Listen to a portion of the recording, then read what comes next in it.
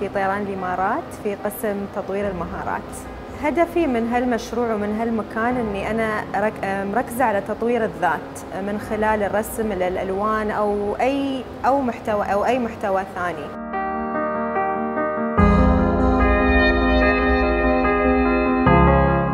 دمج جميل بين شغلي وبين out of line هي بس مجرد تقنيات نحن تعلمناها إن بس نحاول نسأل الإنسان أسئلة ونخليه هو يتحفز وينتقل من مرحلة إلى الأخرى. الهدف واحد مزج بين الإبداع وبين الوعي الذاتي.